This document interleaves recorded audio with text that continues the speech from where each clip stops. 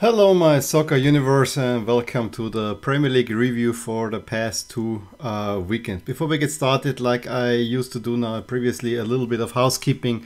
First off, I really hope that you enjoyed the shorts that I've started posting this weekend, uh, where I just get my immediate after the game thoughts off the chest, which may open the videos a little bit more for, um, you know, my review videos a little bit more to talk about Giant Giant and not be so focused on match re reviews. I want to see how it how it goes. I definitely had fun doing it. However, having said that, I recorded one this morning for uh, the United win over Liverpool that we will talk about. A little a little bit more today as well.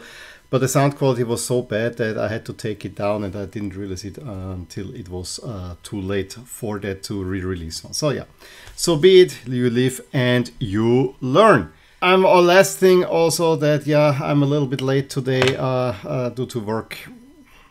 Okay, what what can we say about this round? I mean, I was really again um, when you want to summarize two weeks it usually allows you to go more for a trend over two weeks than just pick out a certain game.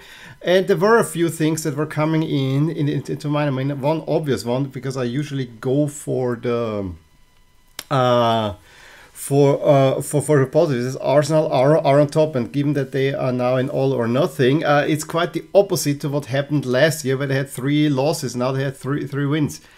Um, is there really a difference? Uh, how how much of a difference is it though? Is it as deceiving as last year? Uh, we gotta talk about that. So this was uh, first thought that I had. Then of course, if I would have made it last uh, week, um, it was all about United's loss at Brentford and how bad is United. Da, da, da, da, da. Well. This week it looks already a little bit better. Maybe, just maybe, this was the loss that was needed for United to actually move forward in a proper direction. So uh, that is another observation that I could make over those two weekends. I fell into the trap a little bit myself, but I was actually thinking that I think the loss at Brentford for United was probably a little bit more down to the tactics by Thomas Frank for Brentford. This was more on Brentford than on United. Um, similarly, like yesterday's loss, I'm not uh, yesterday's win over Liverpool. I am still not quite uh, sure. Yes, United played brilliant, but how much is it down to uh, the problems that Liverpool are having? Another obvious headline would have been uh, crisis or not. I'm exactly United would fall into that, but is Liverpool now in crisis? I would say it's way too early, for that one. Is Man, is West Ham way out there in crisis? I also am not quite sure yet because it's just so early in the, in the season. We saw last season everyone was saying that Arsenal are gonna relegate it. They barely missed. They just missed out by a little bit to a Champions League spot. So uh, it is uh, the overreaction that is happening so early in, in the season uh, is usually something that I want to hold back. And I think I heard yes, yes, a very good thing. Do not look at the table. Do absolutely not look at the table. We'll look at the table, but do absolutely not look at the table uh, in the first six rounds. And that's why I have my expected standings or my projections because they give us a little bit more of an idea of what is happening and what is not happening. Yes, some starts to the season were really, really bad. Some starts, like Leeds United or the guys that I'm wearing, Crystal Palace, have been really, really, really good. I would even argue, argue that Arsenal had a really good start, but it's just a small sample of a large season. It's always, always have that in mind. A season is a marathon and not a sprint. Who is out ahead of the season is uh, it does it doesn't matter and we would have to come up with a system and that's what i'm trying to do with my expected standings that you will see at the very end of this video um, to kind of have it a little bit like uh, the tennis uh, ranking, where yes, you can have a bad tournament, but that, uh, that it's kind of steady over a year, or that, that you have a little bit of a projection in there, instead of looking at the actual table with games played. Because after two rounds, there are so many changes. After three rounds, it flip flops like crazy. This is just some of it, or most of it, is just random noise and a team, and I think Arsenal is the really the best example for that. Because last season, and if you look at their schedule, it was after they lost the four first game, it was totally expected that they lose the first three. They turned it around. Now it's the other way around, and we gotta, gotta see they have not really played a big team yet. The last thing though uh, is I chose the title uh, Early Season Classics, and this to me is what I came up with then. Uh, we had already at least two games that were really, really, really good and absolute classics. The one, of course, is the London Derby between Chelsea and Spurs, which gave us a coach fight that both coaches enjoyed, and actually, I think it was not so bad. It was uh, it was also a brilliant performance by Chelsea, only to be undone a week later. And then, of course, the clash between Man City and Newcastle, which I dubbed in my short video, "Is this a coming of age for Newcastle?" It may be. It might be a sign uh, that they are at least a force that can challenge for Europe, maybe a little bit more. They can hang now with the big boys it really seems this way. This is a really good team that had City on the ropes for sure. And then we might actually say, if wasn't there a third season classic in there between Liverpool uh, at Manchester United? Uh, one last one because I'm wearing Crystal Palace. I think everyone is underestimating, uh, underestimating Crystal Palace at the moment.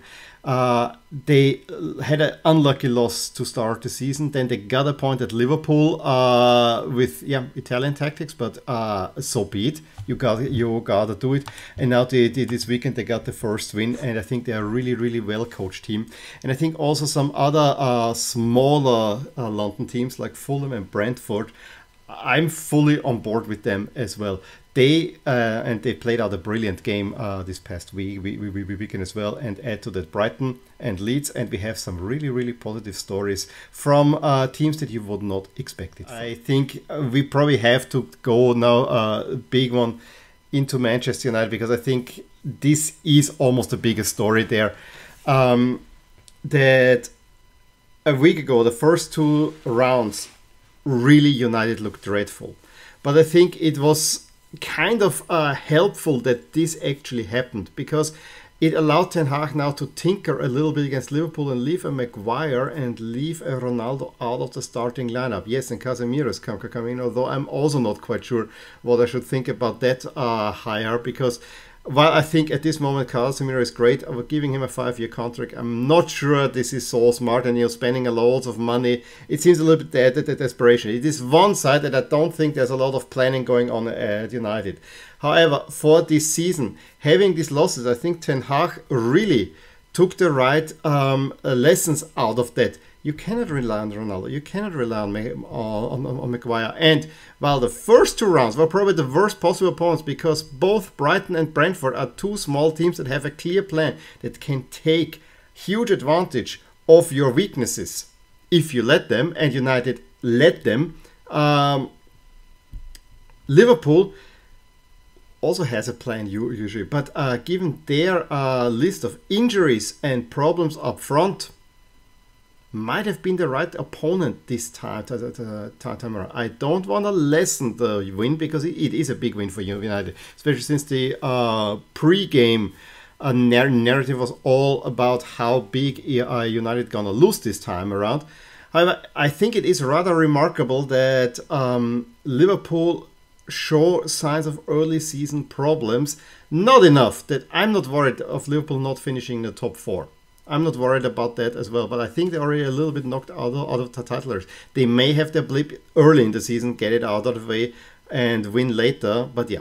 Uh, I say we look at some results. Uh, we have here uh, the weekend before we had uh, Gerrard against Lampard, the probably least uh, glamorous version with uh, uh Gerrard getting a 2-1 win uh, over Everton. Uh, Arsenal, as I said, looking really good with Gabriel Jesus being a really uh, part of the team or, or already, uh, getting the first two, two, two, two goals. Then, um, you know, Leicester always hung around, but Leicester might be a team that is really, really in trouble. In the end, Arsenal just too good for to win over uh, the Foxes. Um, what other uh, re- results do, do, do we have? I mean, um, City against Bournemouth was a 4 0 win. Oh, horrible jersey matchup as far as I remember. Uh, Southampton come back uh, from a two goal deficit against Leeds, where we saw a sign that Leeds might be something to look at. Uh, the less said about Wolves Fulham, the better. Brentford against Manu, I, I we already talked talk about it. I it, it was just utter destruction the first half. I mean, uh, this is a team that just folded, but I honestly think that it was really Thomas Frank who did his homework here, who saw the weaknesses. I mean, uh, United wanted to play a certain way given the personnel that they have. And yes, it was maybe foolish of Ten Hag to think that he can play out from her back because the first two goals look really, really bad. The first one, De Gea has a shocker on the on the, the second one. There's so much pressure, so much pressure on Eriksen uh, that you know the ball is played out, but um, no one gives in a passing lane, and you were not allowed to boot the ball forward. And then it was just uh, utter destruction from there on. So yeah, take it as, as is. Nottingham Forest actually got off with a win. Um, as well, which is remarkable. But I think the game of the round was definitely Chelsea against Spurs. Uh, a game that Chelsea should have won, left and right. Uh, they completely dominated Spurs. The Spurs team that everyone was so high on going into it. Can they get rid of the jinx of Spurs? No, uh, they couldn't really, or maybe they did. Uh, it was also a match marked by maddening refereeing. I mean, First, first of all, Chelsea took the deservedly through Koulibaly, Cucurella uh, assisting on the corner there. What a brilliant shot that was from a central defender. Uh, and they had the game largely under under control. Then well, there was a foul on Havertz that was was wasn't given. A little bit, uh, just a few seconds later, was of course a new phase of play.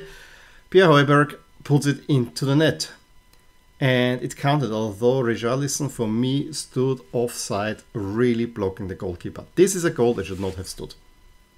I, in a way, I wanted that goal to go in to add a little bit more spice to the game, and it was literally at this moment that I switched onto the game because I was watching Last Capit until, but I thought, yeah, this will make it interesting, but the goal should not have stood. I almost immediately uh, said this uh, to, to, to, to my wife, and then, of course, Conte celebrating and Tuchel getting fully into his face because he didn't like what Conte was doing. And actually, actually, I enjoyed that a little bit. You know, get a little bit spice in there. However, Chelsea's response was really, really good, and Havertz should have made a goal. Reece James then gets the goal after a, a horrible build-up error by uh, Spurs. Reece James, after Sterling assist, uh, makes it 2 to 1. And then I really thought that Chelsea is going to score a third only in stoppage time did uh, Spurs come alive again. Uh, had a few chances. Uh, definitely um, Romero should have been sent off for pulling the hair of Cucurella in the build up to the corner. That Perisic, then takes, and Kane heads in and we have a famous 2-2.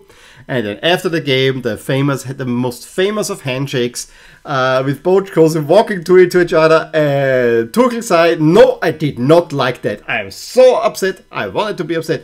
Please look me in the eye." And they went at each other and got both sent off. And at the moment, Tuchel is actually uh, banned for one game where Conte doesn't get anything. I actually think none of them should get banned because it's actually fine what they did. They did not insult each other, they had just an argument. And I really, actually, I enjoyed it and they did enjoy it afterwards. And that was the fun part about that.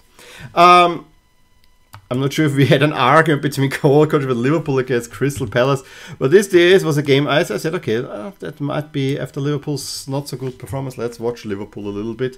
Um, and I really thought at first they're gonna eat Crystal Palace alive, except that they didn't. They didn't score the goal. Crystal Palace had a really clear tactical plan. We're gonna stand uh, defensively and we're gonna put the balls behind the lines of Liverpool and we hit them there. And once uh, Eze plays it on to Zaha, 32nd minute, it's 1 0 for Crystal Palace.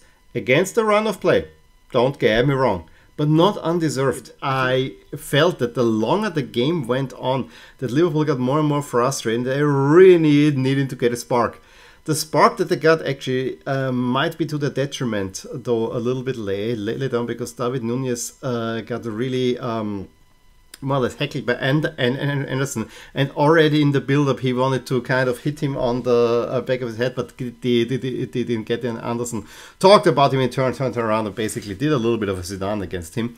Uh, not really. I mean, the comparison is ridiculous, but he got sent off for that with uh, with a red yeah, the kid has to learn. But that was actually the spark that Liverpool needed because then they said, now we really got to dig our heels in. And Luis Diaz, a brilliant goal. And I actually thought that they might win it out, out of that. That, you know, was not a perfect start for Liverpool, but in, in the end, the game was going. Uh, maybe the 1 1 is the best they could uh, get out of this. Um, Spurs unremarkable win over, over Wolves. Also, Wolves had actually a little bit better chances of the game. As I said, Crystal Palace in a 3 1 over Aston Villa's Everton, uh, Nottingham. Not much happening there, and still it's a 1 1 1 game uh, with Everton equalizing very, very late. Fulham Brentford was the game of the afternoon. Um, uh, there, uh, a proper West London derby. Already first minute, a really weird goal by Reed and Palhinha at, at second one. However, Brentford come back Nørgaard just before the half, then a goal disallowed by Ivan Toney, but he gets his equal at 71st. But uh, just in the 9th minute, Mitrovic gets the winner. Gotta say, I really like the Fulham jersey uh, this time around.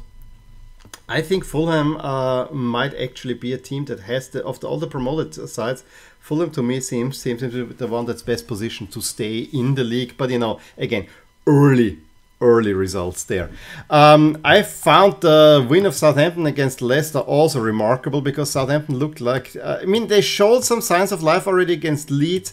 Um, and but it, it, seemed to be a team that might get be in relegation trouble. But you know uh, those were good results for sure. Um, Arsenal silky smooth at least in the first 15 minutes with both uh, goals scored by Odegaard. Uh, that was really really impressive. However, again Brentford might uh, no no not not Brentford Bournemouth might not be the opposition that will really test this Arsenal team. Could have been even more because a goal by uh, Gabriel Jesus was disallowed. And yeah, William Saliba from France, a defender, scores a beautiful uh, third, third goal. What, what, what is it with, with defenders scoring uh, uh, uh screamers uh, in the Premier League? a shocker was Chelsea's performance because you really thought that Chelsea uh, have turned the corner with their performance against Spurs and then uh, Leeds did to them what basically Brentford did to, did, did to United. High intensity style, and Brenden Aaronson uh, pressing goalkeeper um, Mondi, Mendy. Uh, just takes it off him and, pull, and puts it in. And shortly after, Rodrigo make, makes it 2 0. At a point where uh, Chelsea probably had a little bit more chances, but the intensity, it was a high intensity game going up and down uh, got to Chelsea a whole lot. Uh, Harrison makes it 3 0. It was maybe a little bit too much. I think what will hurt uh, Chelsea even a bit more is that Koulibaly got sent off because now they're short on central defenders. Um, again, Chelsea is almost also in the category uh, panic buying like United, so let's see what they come up with. I hear they wanted Leão from Milan for 150 million. Blah. Not sure if I like that. West Ham, um, yeah, not sure about West Ham yet. I mean, losing to Brighton doesn't sound as bad anymore because Brighton actually did really, really well. But you losing three games in a row is not a way to start the season. You know, you might just uh, miss out on the Champions League. Arsenal. Um, game of the season probably so far between Newcastle, United and City because after Gundogan gives City the lead, you really thought that City is gonna eat uh, Newcastle alive, but uh, they took a little while, shook themselves off, and then really got into the game and put City on the ropes. Almiron getting the equalizer. I thought if he was scored with the belly, I, and uh, it was. You thought at first it will not count, but but, but it did count. Callum Wilson uh, just before the half makes it 2 1 for Newcastle. And Trippier scores a free kick to make 3 on the 54th. You really thought that Newcastle is coming away with a famous win. However, this is Manchester City and they just turn it on for a few minutes. And within 10 minutes of the uh, 3 2 triple goal, they had equalized Erling Haaland getting a goal, although he was not really much in play. But I think this will be Haaland's role for now in City. And then Bernardo Silva, after one of those passes by De Bruyne, where you just, wow, how did he see that one? Um, a big talking point, of course, is uh, Trippier's foul on Kevin De Bruyne, which was maybe a little bit high, but um, I actually found it okay that he was not of there. Although this was definitely, you know, if there was a third color of a card, like an orange card, this would be the prime example for it. But I while I was thinking maybe if there should be like a 10 minute penalty or something like that uh, in football, like they, it is in Austrian youth level, which is a blue card, on the other side, I think I don't want to complicate the game even more because ref referees already have too much to think about. And then yesterday, uh, United against Liverpool. I think in the first 21 minutes, United were absolutely brilliant, uh, taking advantage of Liverpool's frail footed uh, Becker, uh, creating chance at Elanga had. He'd already post early, and the way he assisted Sancho, and especially what Sancho did. This was United's first goal of the season. And what a brilliant goal it was. The way he cuts the ball, uh, gets rid of Hand Henderson and um, Alisson in, in a goal and then uh, just can tap, tap it in. It was brilliant. It was absolutely brilliant. Um, Liverpool, though, got themselves a little bit back in the game, um, and Vernon probably towards the end of time a little bit the more dangerous although the real only danger was uh, Bruno Fernandes. Uh, clearance shot onto his own own goal. It was cleared off of the line, and you could already see at this point. This is a game where a lot of things are going right for United, and they're not going right for Liverpool and this might actually help uh, Liverpool to just chalk this up. This was one, it was not man, man meant to be. And when the Rashford goal stood after a pass by Martial, for I literally thought at first it is offside. Two, two rounds after the Rashford goal, I then nodded off uh, because I was just too too tired. But uh, that red because for me this was was the decider. Salah pulls one back. I saw that one, but yeah, I think it was a brilliant. It, it, was a really good performance by United. I'm still not sure how, how much is down to Liverpool's uh, own struggles at this moment, but maybe this is something that is now a little bit more calm. My thing for for, for United is they had those performances in the previous seasons as well, here here and there. Can you back it up?